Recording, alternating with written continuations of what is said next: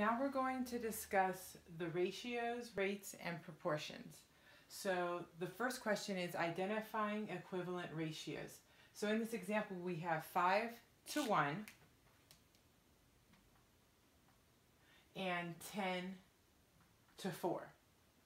So they just want to know are they equivalent or not.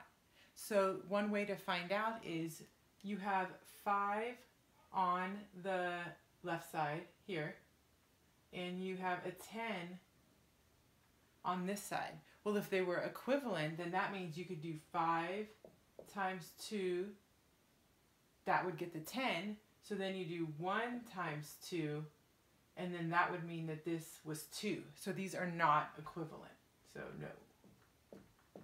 So all you do is you take the first number on the left, how many times did you have to multiply or divide it to get to the other number that's on the left and then you do that to the numbers that are on the right and if they balance out then it works. So here we have 1 to blank equals 7 to 14.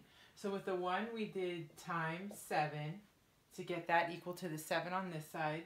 So here what did we do? We did blank times 7 to get 14. So then that would be 2. And that does work because 2 times 7 is 14. So yes, these are equivalent.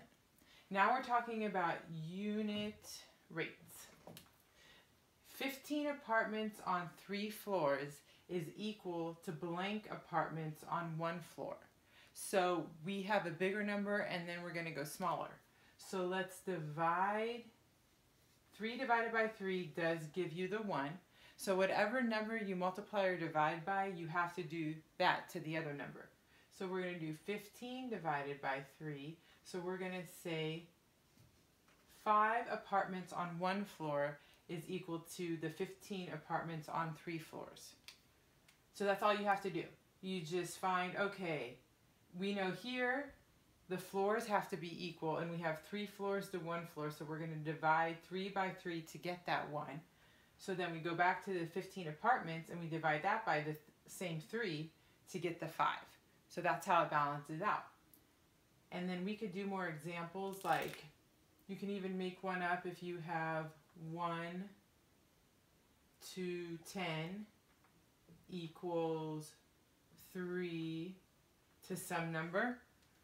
For the equivalent ratios, just do 1 times 3 to get the 3, so 10 times 3, so this would be 30.